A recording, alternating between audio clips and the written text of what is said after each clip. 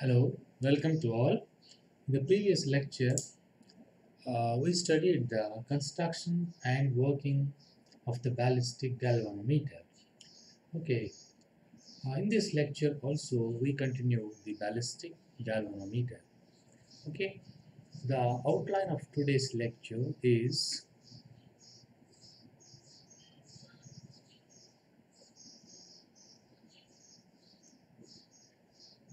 yeah, you can see here Uh, we studied the conditions to be fulfilled by the ballistic galvanometer. That means galvanometer to be ballistic. Next, we study the uses of ballistic galvanometer. We already know the primary use of the ballistic galvanometer. Next, we study about the sensitivity of ballistic galvanometer, whether it may be charge sensitivity or current sensitivity. Okay. After that, we will be going for the galvanometer damping. Okay. Uh, in this, uh, we also study about the technical terms or the definitions of decrement and logarithmic decrement. Finally, we will do the damping correction of the ballistic galvanometer so that we can get the charge flowing through the meter in a correct manner. In a correct manner. By using the formula derived in the previous lecture. Okay. Okay. What are the conditions it has to fulfill? Okay. A galvanometer has to fulfill to behave like a ballistic galvanometer. Okay. You can see these conditions on the slide as well. Okay, what are the conditions? There are uh, three conditions. Okay, first conditions of ba ballistic galvanometer. Okay, so what conditions it has to fulfill to be a ballistic galvanometer? Okay, here the time period of this ballistic galvanometer, the time period of the ballistic galvanometer T should be large. One thing is it should be large. Okay, I have to see that the T of the galvanometer is large. Okay, in how many ways this can be achieved? For this, what you have to do? You have to increase the moment of inertia of the coil. You have to increase the moment of inertia of the coil. Okay, in order to increase the uh, periodic time. Okay, because you know that uh, formula of time period T is equal to 2 pi under root C I by C double. Okay, C per unit pressed this thing. Yeah, so in order to have the large time period, what you have to do, you have to increase I. You have to increase I, I, moment of inertia of the coil. Okay? Right. Next, uh, at least uh, you have to take, uh, you may increase I by increasing the mass or the distribution of the mass. Okay. Next, apart from that what you have to do you may increase this uh, t. Yeah by this uh, by decreasing the torsional rigidity okay torsional rigidity of the the torsional rigidity of the uh, coil okay or the oscillator okay. This can be given by this uh, c characterized by c by decreasing this, we can increase the t value as well. For that, what we are doing is, we are tying the, we are hanging the rectangular uh, coil to a phosphor bronze wire. The purpose of using the phosphor bronze wire is to decrease this uh, C or the torsional rigidity of the oscillator okay. For that purpose only we are using a special uh, wire that is phosphor bronze wire. Okay. Right. So this will increase the time period. Okay. What is the need for increasing the time period? We will see later. Next what are the other conditions to be fulfilled by this gal- galvanometer to be ballistic? Damping should be negligibly small we will discuss in detail about this galvanometer damping later yeah, what is damping? Damping means uh, offering some obstruction for the coil here. That means opposing or trying to halt the rotation of the uh, coil, rectangular coil. Okay, damping. See what factors are slowing down this rotation of the coil? There, there are some mechanical means mechanical causes are there. Next due to induced current okay? Induced current is one thing. So when electrical means uh, you can electrical factors also uh, damp the motion of the coil as well as mechanical factors also damp the motion rotatory motion of the coil okay what we have to uh, do here is we have to see that this damping which However, uh, actually, in fact, it is not possible to make it zero. That means these two factors. We cannot avoid uh, these two factors of uh, of uh, providing damping for the rotating coil, but we can minimize. We can safely minimize these factors. That means we have to see that the air resistance between the coil and air is uh, small and you have to see that there is a, a, minimum induced current in the coil. For that purpose what you have to do here you have to take non-conducting frames for making the rectangular coil or non-conducting core like ivory you have to use ivory or bamboo hmm, as a core materials or as frames okay? You have to use the frames of those such type of materials okay? This will avoid the eddy currents across the cross section of the frame or the core okay? Right. Next uh, what other things here it has to obey your galvanometer has to fulfill. That is here the transient current should be as fast that it should hmm, go through the meter before the coil start rotating. Okay? The entire current has passed through the instrument before the coil just starts to uh, rotate. Okay yeah how this can be achieved how this third thing can be achieved you may just uh, increase the time period. That's why uh, we studied this as a first condition. Always you have to keep the time period fairly large so that so that the entire current pass through the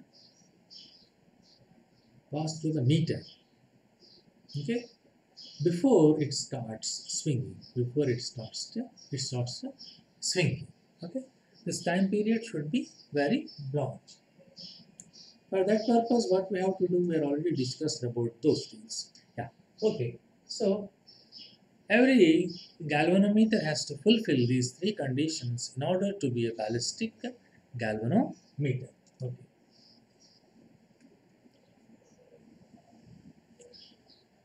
Right.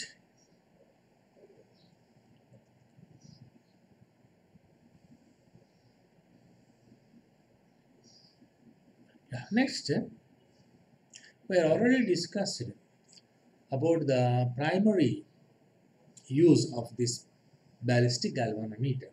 Okay, all of us know that we use this ballistic galvanometer primarily to measure the uh, charges flowing over a very short period of time. Okay, transient charge. Okay, or it may be. Yeah, apart from this, it can be used for uh, different purposes. You just see on the slide, this can be used to compare the EMFs of uh, given two cells, okay, EMFs. Next, this can be used to find the self-inductance and mutual inductance of the coils, okay. Next, to compare the capacitances of the capacitors, this can be used to compare the capacitances of the given two capacitors, capacitances of the given two capacitors. Uh, next, it, uh, it, uh, it can be used to find the angle of dip at one particular place on the earth. Okay, is related to the magnetism. Okay. Next, it can also be used to find the high resistance through leakage method. Okay, leakage of charge through capacitor okay right so apart from using the ballistic galvanometer for measuring the transient charge it can also be used for these different uh, purposes okay these are the other uses auxiliary uses of this ballistic galvanometer okay which we have to know. Next let us go for the sensitivity. Next, let us go for the sensitivity of the ballistic galvanometer. Sensitivity of ballistic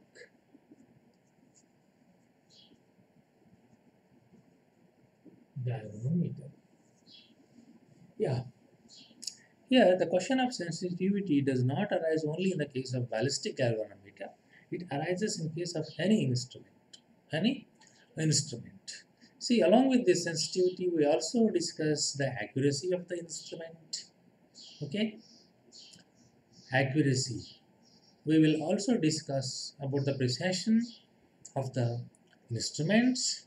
But these are all uh, not the same. Okay, but there is a slight difference between all these things. Okay. Here, we need not to confuse with the accuracy and sensitivity. Hmm? uh, precision and sensitivity okay these are all the different things there are there are some minute differences between all these terms yeah but particularly here we are discussing about the sensitivity of this uh, uh, ballistic uh, galvanometer there are uh, so many types of sensitivities sensitivities. Yeah, actually what is the general uh, definition of sensitivity? General definition of uh, sensitivity? Okay. This is a change uh, in the output for the change in the measurable quantity. Say here if you take current as a quantity physical quantity then our charge is a physical quantity you take the charge okay that uh, you want to measure by using this uh, ballistic galvanometer. For that purpose, you are taking the deflection readings. Okay. See, you are observing that for how much change in this theta, how much change in uh, this charge is taking place. Okay. This is called uh, the charge sensitivity of the galvanometer. Charge sensitivity of the galvanometer. Suppose that now you you want to observe the change okay you want to calculate the current suppose that you want to calculate the current using this then what will be the current sensitivity see how much change in the calculated quantities taking place due to the change in the observable quantity that means theta you are changing something you are, you are doing some changes in theta for that much change, how much change in I is taking place. That will give you the current uh, sensitivity of the galvanometer. Current uh, sensitivity of the galvanometer. Okay. Here, yeah, this is what the sensitivity and the precision is a different thing. Yeah. Uh, how much you are uh, reading is differing from the standard value that will give that will show you the precision okay plus minus of something you write to some value okay That is the that is the precision, but this is the sensitivity. This is the uh, sensitivity. You have to note the difference between these things. Okay.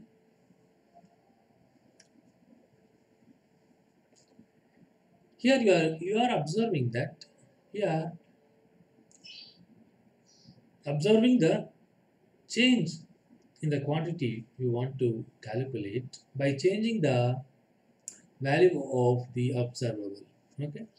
Here you are changing theta and uh, you are observing the corresponding changes in corresponding changes in charge and current. That means how much change how much? Yeah. Here uh, suppose that you want you want to define the current sensitivity. Okay let us go one by one. See let us go for the exact uh, definition of the current sensitivity of the charge. First of all let us take the charge sensitivity. You can see this on the slide.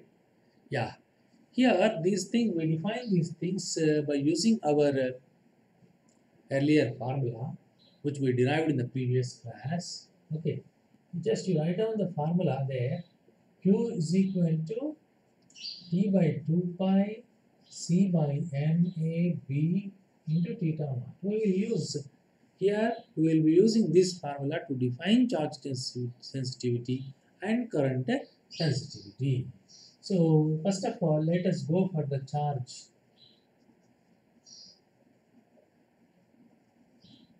sensitivity. You just you call this as Q as you put as here. What is charge sensitivity according to our sensitivity definition? This is Q by theta naught. Q by theta naught. Q by theta. This is equal to you are left with T by 2 pi C by N A B. This is nothing but according to our previous notation, this is K. Yeah this is k. Yeah this ratio is called as a charge charge sensitivity. How to define this? It is nothing but the charge or unit value of theta okay?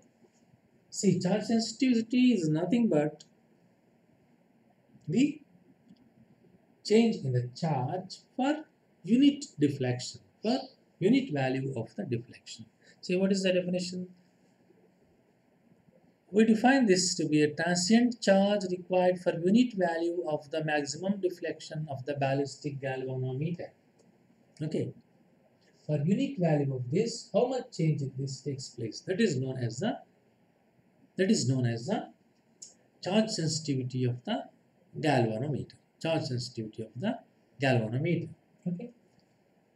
For a unit change in this maximum deflection, okay,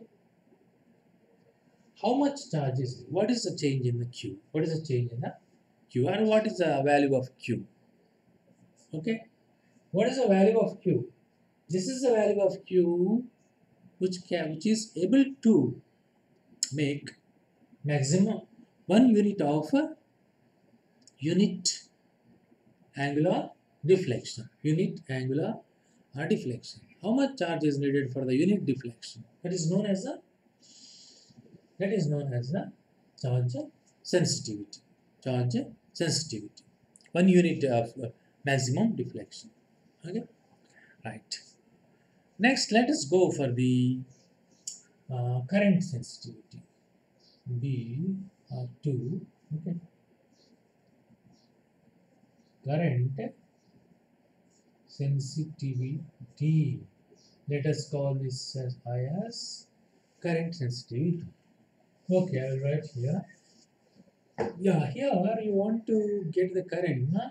You take charge by time, this entire factor. Then you have IS is equal to, okay, IS is equal to, what are the other things uh, left over here? and a b theta naught. Okay, this is I.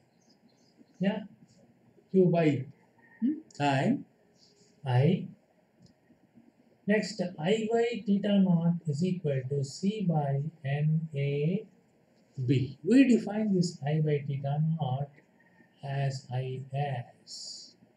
IS. Okay. What is IS? I by theta naught. Okay. Current required for one unit of deflection.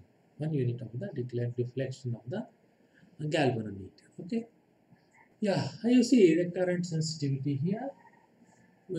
Here, another name for this uh, current sensitivity is a figure of merit. We will call this uh, current sensitivity as figure of merit of ballistic galvanometer. What is figure of merit or the current sensitivity? Okay, you can see here the definition in words. The transient current required for unit value of the maximum deflection is known as the current sensitivity of the ballistic galvanometer. Okay. How much current is needed for unit deflection? This current is known as the figure of merit of ballistic galvanometer or current sensitivity of the ballistic galvanometer. See, by using these two relations, these two formulas, by using the definitions of charge sensitivity and current sensitivity, you may relate those two sensitivities. Okay. Here, this current sensitivity is nothing but C by okay N A B times T by 2 pi. C by T by uh, 2 pi. So here, just what is this here? Qs is equal to T. Otherwise, you take this definition. Qs is equal to T by 2 pi C by NAB. But what is C by NAB?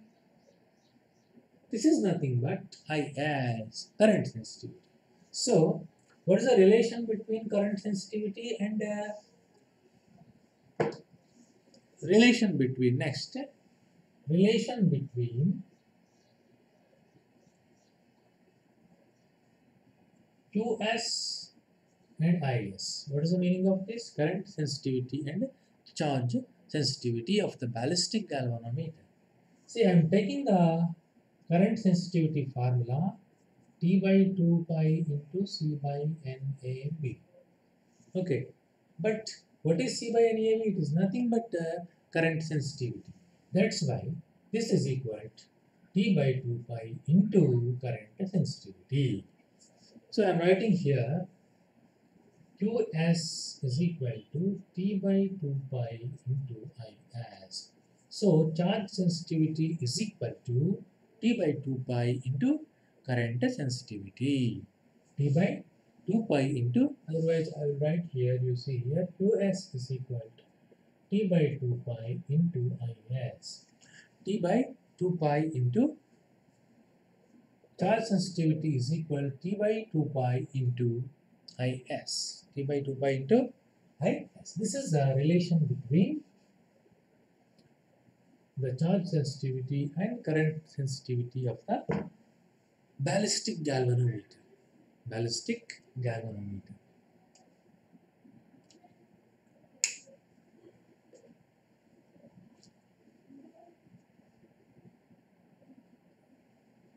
Yeah, this will show you uh, the sensitivity means at least in order to go for the one unit of throw, how much current is how much current is needed or how much charge is needed. So we call this as the sensitivity of the galvanometer.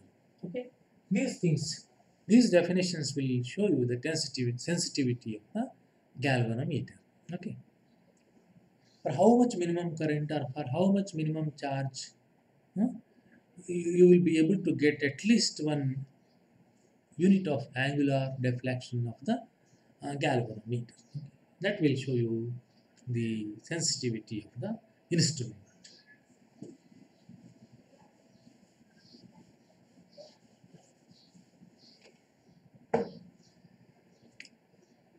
Yeah, we are also studied this relation between two types of sensitivities, which you can see on the slide as well. Yeah. Now we are going to study about uh, the damping of galvanometer. Okay, we are going to study about uh, this in very detailed manner. Okay, whenever there is a damping our expression will not give us the correct correct value for the charge flowing through the meter.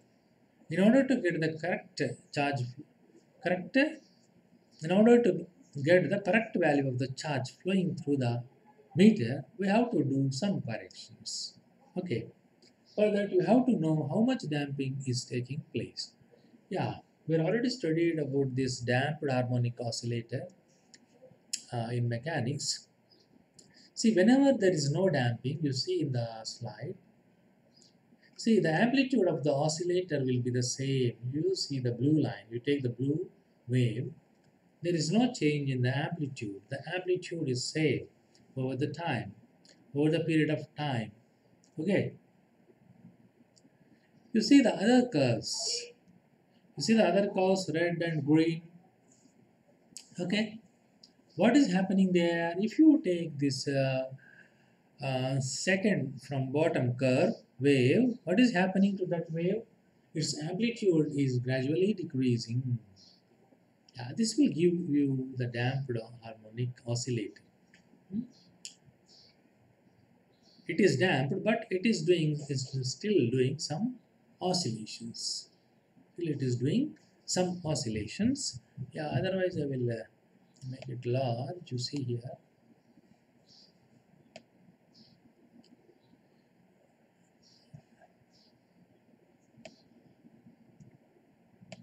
Uh, you see here.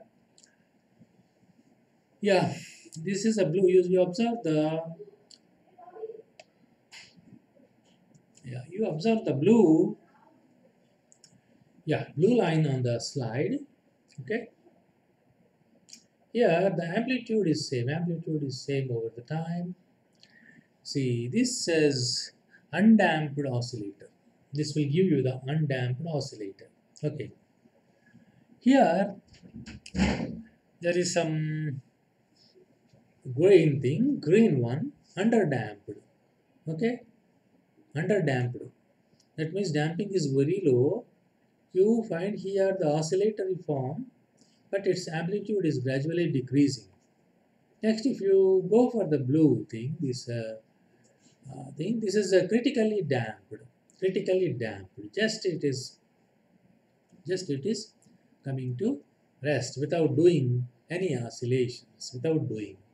Okay, this red curve will give you the overdamped harmonic oscillator.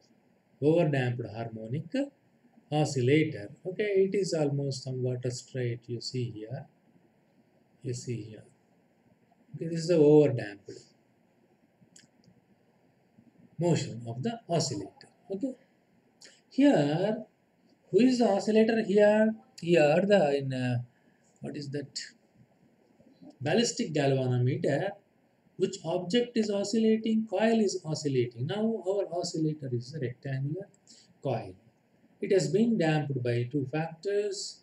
Okay, you know what are those factors? Whether it may be due to the air, friction between air and rectangular coil, or it may be due to the uh, eddy currents or the induced EMF within the rectangular coil. Okay. Right. Now let us first go for the causes of this damping. Next we will go for the corrections for the damping.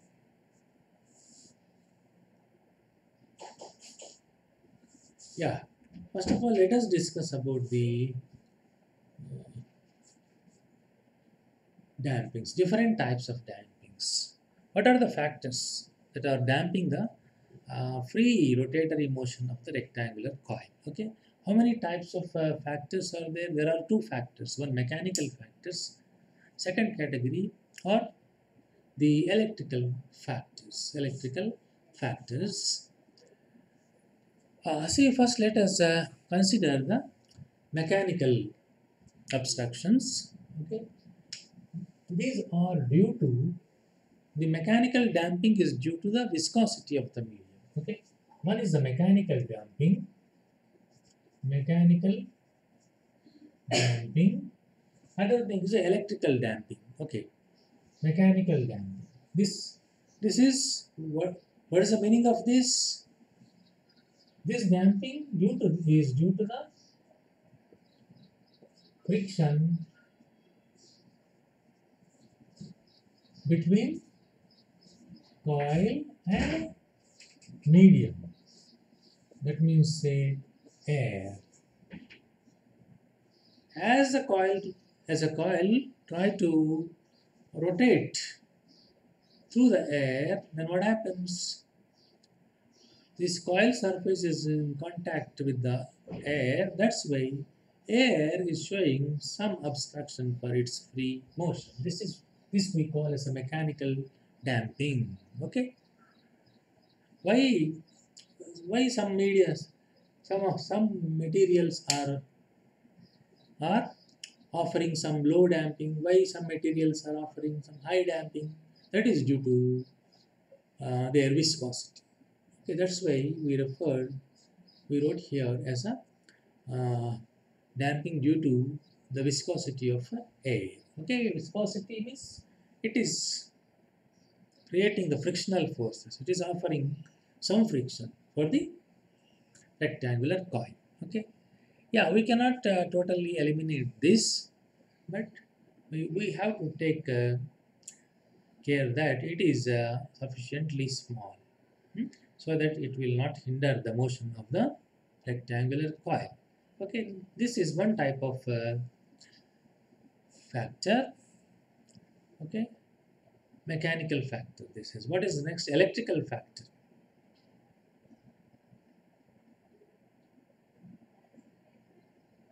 What the other factors are influencing the rotation of the coil? Electrical factors. Okay. Yeah, second type of damping is a electromagnetic damping. Yeah, why this electromagnetic damping? This is due to this is due to the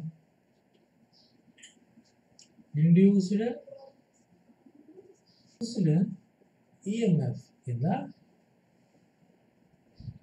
rectangular coil rotating in the external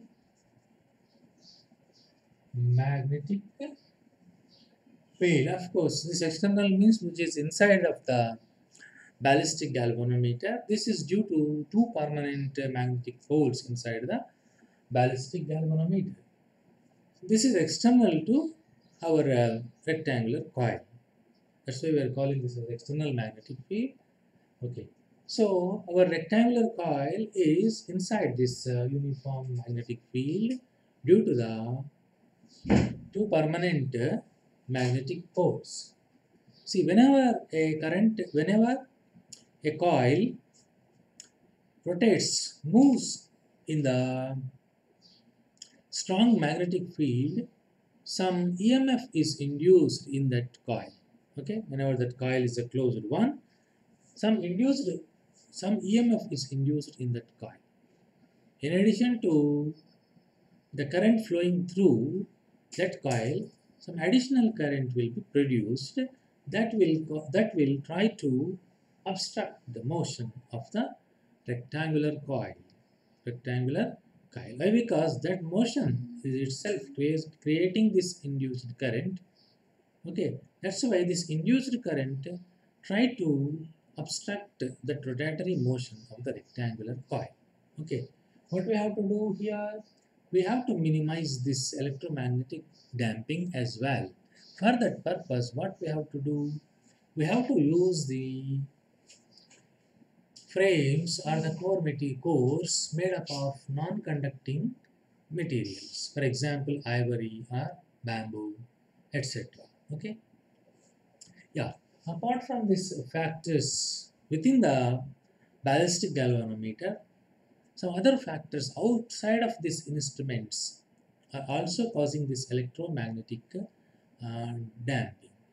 See how much uh, Electromagnetic damping or the, or the damping current is present in the rectangular coil will also depends on the uh, external circuit in which we are placing this uh, ballistic galvanometer. If uh, the external circuit is of very low resistance, then what happens is its magnitude will be very high.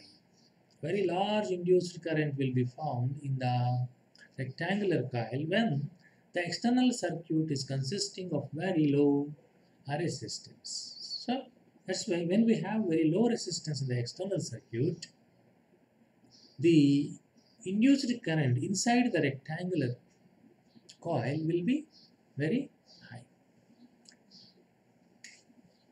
Yeah, so we have to reduce this electromagnetic damping as well. Otherwise, it will influence the reading of a ballistic galvanometer. Okay. Uh, this is about two types of dampings of uh, the rectangular coil of the ballistic galvanometer. Okay, we call this simply as the damping of the ballistic uh, galvanometer.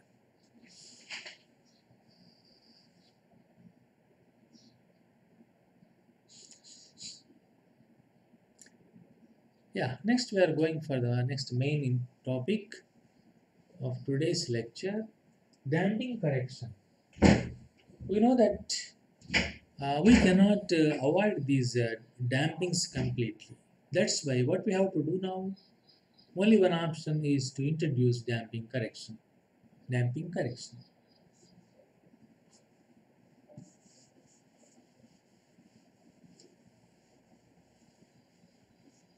Yeah, we have- already seen that in one slide.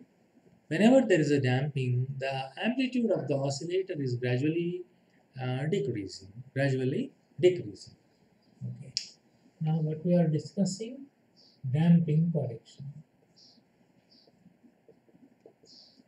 Damping correction of ballistic galvanometer. Okay. Now let us consider this as a mean position of the mean position of the uh, mean position of the ballistic galvanometer. Say this is O. Next uh, yeah. Say suppose that this is the first throw of the pointer of the ballistic galvanometer. Theta 1 next uh, you come for the theta 2 here. Next theta 3 next theta 4 dash dash dash. Okay we have like this. We are writing here the successive throws of the pointer on the right and the left of, of this li- this line respectively okay? One two one on the right two on the left three on the right like this. We are noting the deflections and throws of the ballistic galvanometer. Why? Because suppose that uh, first time it is coming up to theta 1 next time it will not come up to theta 1 it will come only up to theta 3 why? Because damping is there. Its amplitude is going to decrease gradually. Okay going to decrease gradually. Otherwise we would have chosen only one point on the right and one point on the left. Our uh, oscillator will be doing oscillations all the time across these two points. But this is not possible here. There is some small damping is there. Okay? Uh, so whenever we consider the damping we gradually reduce the amplitudes of the pointer or the ballistic galvanometer or the rectangular coil. Okay? Right. Yeah you can see this on the slide as well. Yeah. Now what people observe is yeah what we are assuming here let the theta 1 theta 2 dash dash dash be the successive successive throws or the swings successive throws or swings of the ballistic galvanometer. Okay, now I am showing the those uh, swings on this uh, line. Okay. Right? Now- here on this side, I'm writing theta naught. Yeah. Yeah, you, you, you, you can see here now. Last point, last point on the right side is theta naught. What is this theta naught? You are not observing this theta naught. Actually, if if there is no damping at all in the ballistic galvanometer, then your pointer would have moved up to theta naught. But there is some damping. That's why your pointer is moving only up to theta 1. That you have to note. That you have to note. Yeah, leave that theta naught. Now, let us uh, try to find the ratio between any two successive throws or the swings. Okay? Right. People, what people observe is that theta 1 by theta 2, you try to find the ratios of successive swings. Next, theta 2 by theta 3, dash dash dash you may take any number of ratios between two successive swings that is equal to a constant. What people observe? They always noted this to be a constant. Let us call this constant to be d. Say, for example, say, let us say this to be d. d. Okay. Now, what is the name for this uh, d? This is a technical word here describing the motion of the ballistic galvanometer. Here, d is called as, here, d is called as decrement. Decrement. D is called as a decrement. Why? Because as you go from 1 to 2, 2 to 3, what happens? Shortening of the amplitude takes place. That's why we call these ratios as decrement of the ballistic galvanometer. You take any two successive throws, then you always have its value a constant. We call that constant to be d, decrement. We, call this d because it is known as decrement. Okay. So you may also define this decrement in some different manner. That is logarithmic decrement. Logarithmic decrement.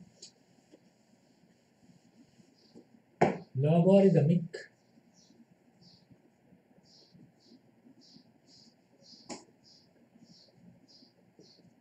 Okay. Logarithmic decrement. Logarithmic decrement. What is logarithmic decrement? It is nothing but the logarithm of decrement d is known as a logarithmic decrement. When you take the logarithm of uh, the existing value d, then it is known as a logarithmic decrement. It is denoted with lambda. It is denoted with the letter lambda. So what is lambda? Lambda is equal to log of. I am writing ln means natural logarithm. Log base e. ln d means what is this? Log base e d. This is known as the logarithmic decrement of the ballistic galvanometer. So what are the technical terms we are using here? Decrement and logarithmic decrement. What is decrement? It is nothing but the ratio between any two successive throws of the ballistic galvanometer. Whenever we take log of this d, then we call that entire value logarithmic decrement. Logarithmic decrement lambda. So what is our lambda? Lambda is equal to ln d or log base e d. Whenever you take this d, the log of this d to be lambda, then what happens to your d? What happens to your d? I will write here. Then what happens here? d is d is equal to d is equal to e power lambda. d is equal to e power lambda. So we are using the logarithm uh, identities uh, relating to the logarithms. Then you have e d is equal to e power lambda. d is equal to e power lambda here. Yeah, whenever lambda is equal to log base e d, then d is e to the power of uh, lambda. Right. So this is a, a relation between lambda and uh, d. We are already defined d to be the ratio between successive angles. So this theta 1 by theta 2 is equal theta 2 by theta 3 is equal dash dash dash is equal to e power lambda. e power lambda. Right? Yeah. Here 1 to 2 corresponds to how how much of the single oscillation theta 1 to theta 2 whenever the oscillator moves from theta 1 position to theta 2 position it only makes it only makes half of the total vibration. Half of the right to left. Okay? Only right to left. If it again comes to the right then it becomes one complete vibration. So you have only half vibration from theta 1 to theta 2 right for the half of the vibration we have theta 1 by theta 2 is equal theta 2 by theta 3 is equal dash dash dash is equal to e to the power of lambda. So for uh, one complete vibration, that means theta 1 to theta 2 and again theta 3, we have theta 1 by theta 3 is equal to how much e to the power of e to the power of for half vibration we have half 2 into half into lambda lambda. So one full vibration we have 2 into 1 into lambda. That is 2 lambda. Okay otherwise you may find this by following the alternate method. Here you may write theta 1 by theta 3 as theta 1 by theta 2 into theta 2 by theta 3 because each one is equal to e to the power of lambda. Okay here you have that thing. Then you have theta 1 by theta 3 is equal to uh, e to the power of e to the power of 2 lambda. Okay now let us go for the theta naught and theta 1 here on this line theta 1 is the first observed through when there is a damping. What is theta naught theta naught theta naught is the first throw of the galvanometer when there is no damping at all. When there is no uh, damping at all.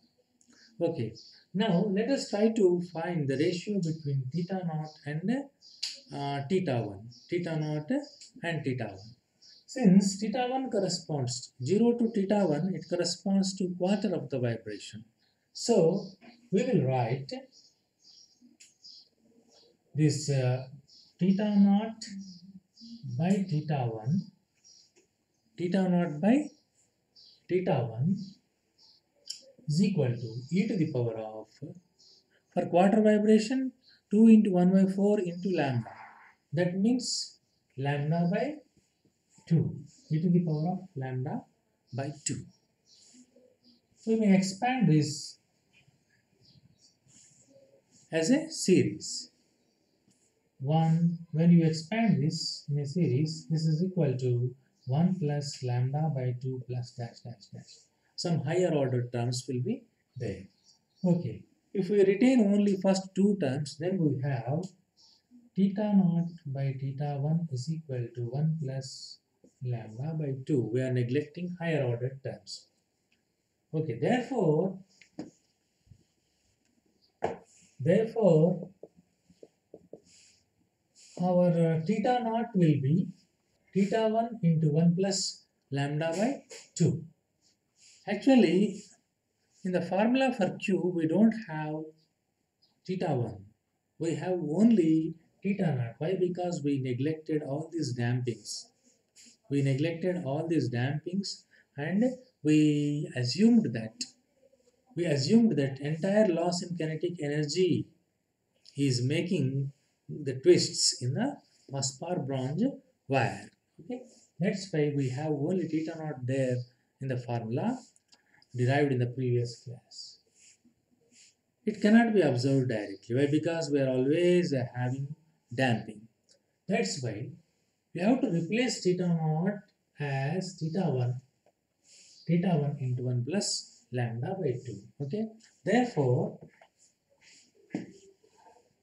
therefore q is equal to uh, t by 2 pi okay otherwise you simply write q is equal to what is our previous formula? We derived in the previous class k into theta that means k into what is our theta naught? Theta 1 plus 1 by lambda by 2 so now q can be found as k into theta 1 into 1 plus lambda by 2 but our doubt is how to find lambda for that let us take first and uh, 11 throws or swings of the damped harmonic oscillator.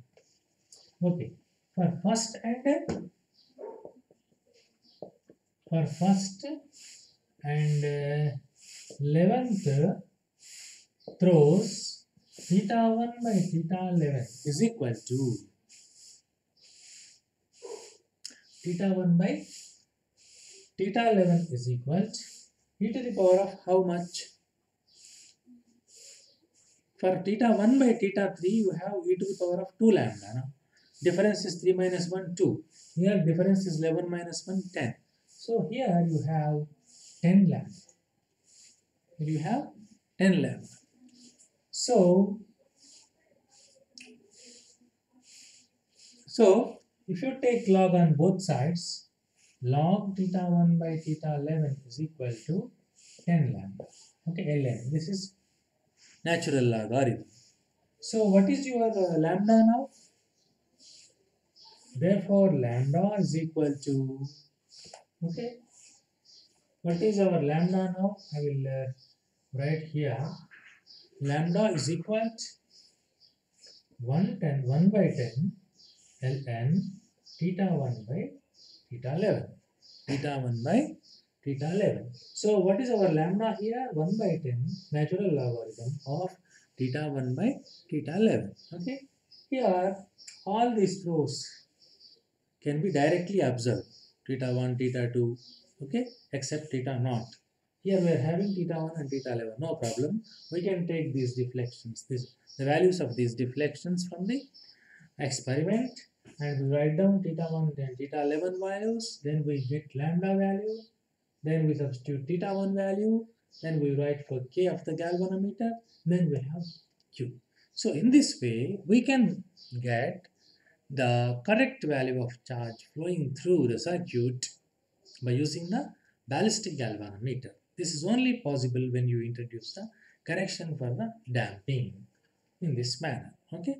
By using this formula and this thing we are able to calculate the correct charge flowing through the circuit. That to transient charge that charge is due to the flow of transient current. Okay this is about the damping correction of ballistic galvanometer. Okay let us uh, stop with this. Thank you